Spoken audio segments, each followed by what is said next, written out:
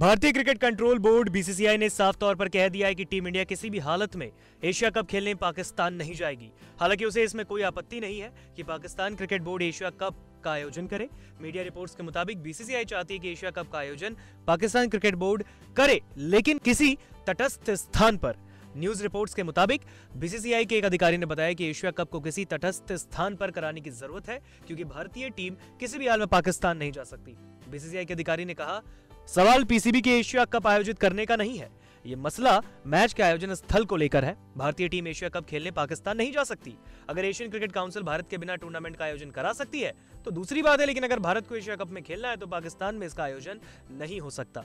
BCCI अधिकारी ने आगे कहा, साल 2018 में भी बीसीसीआई को एशिया कप का आयोजन देश से बाहर यूएई में कराना पड़ा था। पाकिस्तान के खिलाड़ियों को भारत का वीज़ा मिलने में समस्याएँ आ रही थी, जिसके बाद बीसीसीआई को देश से बाहर एशिया कप आयोजित करना पड़ा।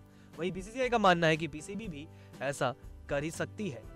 नेक्स्ट नाइन स्पोर्ट्स की रिपोर्ट।